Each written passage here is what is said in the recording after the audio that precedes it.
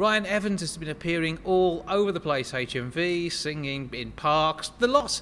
He's got a brand new EP out and he's here to tell me more about what's going on. Hello. Hello, Jason. How are you, mate? I'm very well. and It's been a while since we last had a chance for a catch up, isn't it? I can't remember how long it's been, but I Yeah. had hair to my shoulders. I, I probably had hair as well, but mine's gone completely. But Was uh, it that long ago? No, it wasn't No, that long. joking. yeah, we could fall out.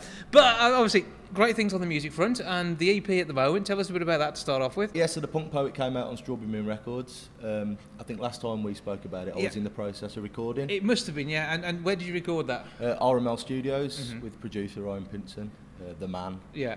of course. And you're proud of that, and rightly so. I'm very proud of that EP. Um, it lends its ear to like Slade, T Rex, um, you know, all the greats really. But with a modern vibe through it Oh, as well. definitely a modern production Mhm. with it. Yeah, that was always the uh, the way we wanted to go with it. And as far as performing goes, where have you been playing of late?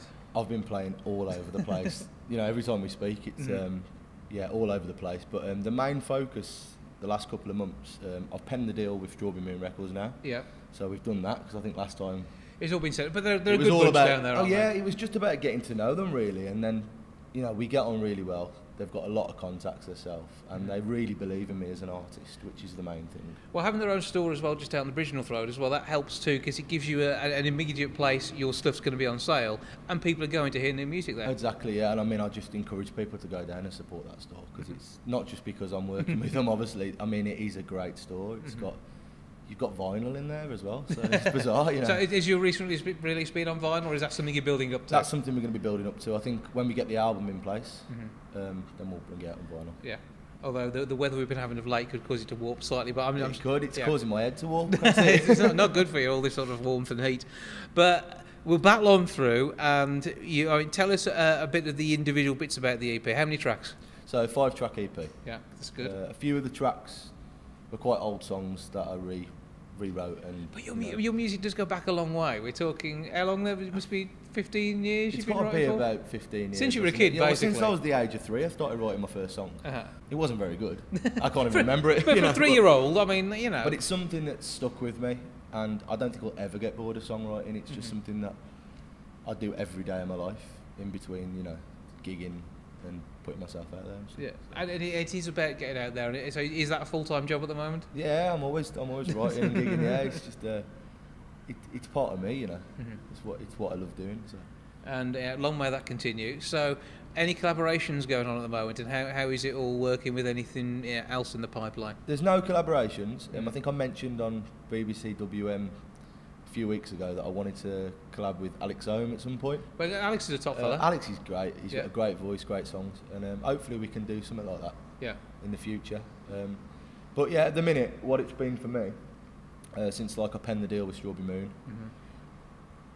we got well, I got approached by Strawberry Moon to come down to the Copthorne Hotel in Dudley um, and check out all these pictures of Duncan Edwards. Yeah. Um, and to be quite honest with you, I didn't know much background about Duncan Edwards, Mhm. but I knew that he was a legend. Yeah. I knew that he played for Man United. One of the Busby Babes. Yeah, and I knew that he also played for England as well. know. Mhm. So, me and Ian Deswell, uh, co-writer on the track, we went down, and uh, we got really inspired to write this song, and it was, it was just instantly just seeing the pictures on the wall, and I think for me, what it was, it was seeing a boy that had a dream, hmm and he achieved the dream, and it's reminding me of myself, you know, like we just, we do everything we do to There's a purpose. yeah, definitely. Um, we went away, we wrote these songs, and it wasn't working at all because it was too forced. It was, you know, and then all of a sudden this track dropped out of the sky, as they do, hmm called 21 Candles. Yeah. We went back to the studio, we recorded it, and now we've got it, and it's ready to come out, and it's on the Duncan Edwards tribute, Strawberry Moon Records as well, and it's just a really good song.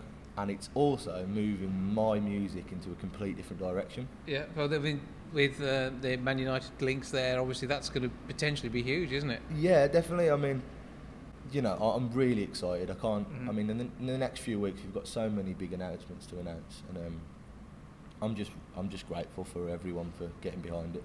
Well, I said, but the, it, the thing is, throughout your career, all I've known you do is produce good music. Now, whether it's stuff that you're not sharing with people, that you're not so keen on, if, if the, the quality filter might be there, but certainly everything I've ever heard you do has always been really good. Well, thanks, thanks a lot for that. Yeah, but um, this track is just, it's great. So, Uh, yeah, but it you- it's- can't share that with the shop, though, can we you? We can't share it No, with you it's, it's, a, um, it's a secret It will be available for pre-order in August. yeah. And then August the 26th, Mhm. which is a bank holiday Monday, we're doing a big show at Sadler's Brewery. Um, and that's going to be the first time people can listen to the song live. Mm. So I'm really looking forward to that. So tickets are now on sale. You can get those through Strawberry Moon Records, social, Duncan Edwards Tribute, and my own pages as well. Okay, so give us all the socials and web pages too. Yeah, so mine's Ryan Evans UK on Instagram and Twitter, and it's Ryan Evans Official on Facebook. Yeah. Um, and it's Strawberry Moon Records. They're all over the Yeah, place all- as well. everywhere. everywhere, yeah. Uh, Duncan Edwards Tribute, website, Facebook as well. Just search for that one. Um, yeah, and all the updates will be on there in the next few weeks. Okay, check all of that out. Meanwhile, though, back to the EP. Remind us of the name of it. The Punk Poet. And this has been selling well Oh yeah, it um, outsold Ed Sheeran. in In- HMV. In, Wolverhampton. Yeah, in. Wolverhampton. Not not worldwide. No, That that, the- that, will, will come. plan. Yeah. Hopefully. Um, I think that weekend was ginger power, to be honest. but yeah, it's great. You know, people were queuing up for selfies and signed CDs, which I just blew my mind. You know. Yeah, but it, it, it's a little bit stardom, and uh, yeah, long may this it's continue, nice and much more recognition, isn't it? You know, Yeah. when you've been working really hard on a project, Mhm. for people to say, "Yeah, I like that." Yeah. Last month, I picked up the Black Country Music Award, Best Singer Songwriter as well. hmm It's, it's, it's coming together, which is the way we like it. But it's not. things. You've worked blooming hard for all of this, haven't you? I have worked really hard, yeah. So we're going to hear you do uh, a live track. What are you going to do? I was going to do a cover for you today. Right, but you've Um, your mind. th- No, I'm still You're going still to going do to do it. a yeah, Okay, you, yeah. was, you said you were, but okay. Um, I'm going to do "Keep On Running" by the Spencer Davis Group. okay, we'll my- take a my listen ver- to that. my version And of you've changed this about a bit. It's your own arrangement. Yeah, it's a bit more chilled, Okay, um, and then yeah, so maybe go for a little jog rather than a full sprint. yeah. Is that what we're looking at? Here? We might we might all fall asleep to be honest. Anything could happen. Yeah. Right, it's always good to have, to have a chat Oh, with you. Great to see you. Keep on running. Keep on hiding.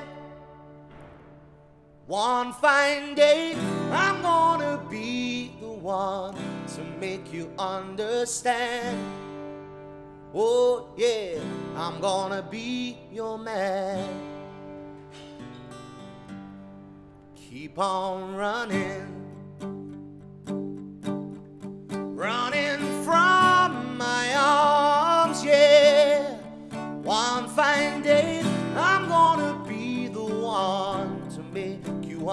understand.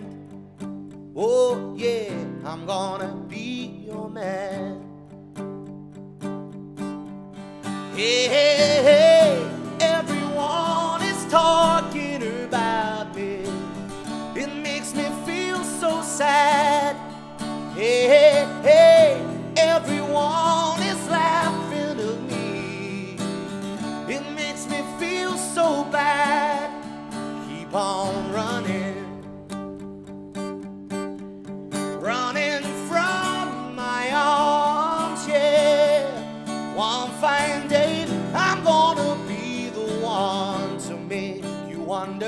understand.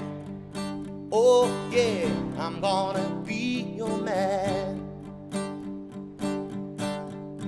Keep on running, running from my arms, yeah. One fine day, I'm gonna be the one to make you understand.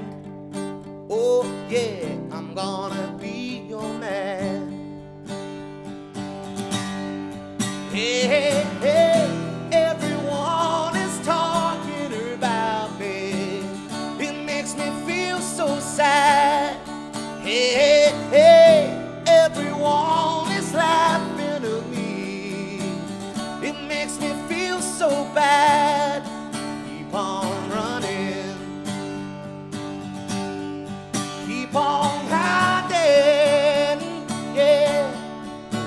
Fine day, I'm gonna be the one to make you understand.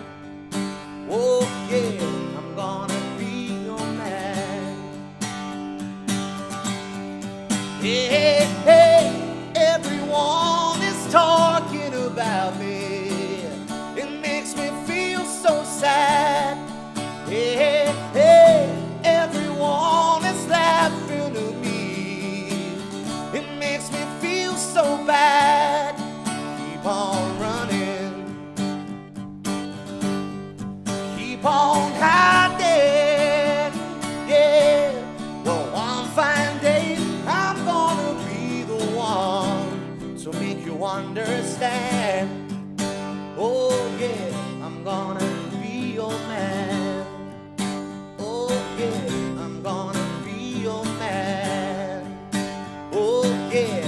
I'm gonna